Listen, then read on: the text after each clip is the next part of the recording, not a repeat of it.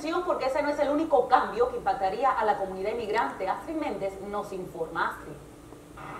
Actualmente hay 350 jueces que revisan los casos de miles de personas indocumentadas que buscan un estatus legal en el país.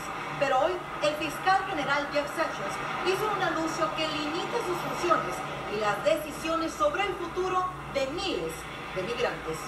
Ahora los jueces no tienen el poder de cerrar temporalmente los casos de migración.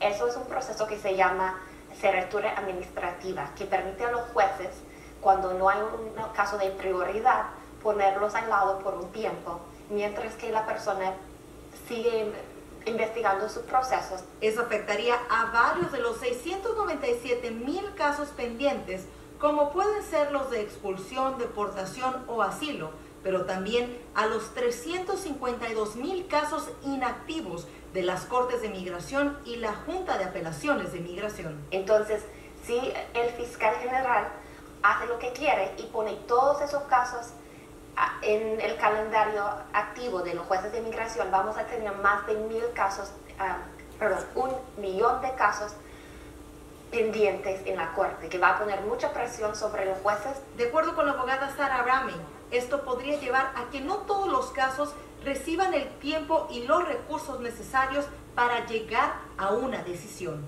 ahora parece que las cortes no van a tener esa posibilidad, así que los casos van a ir mucho más rápidos y uno necesita estar más preparado del lado del inmigrante.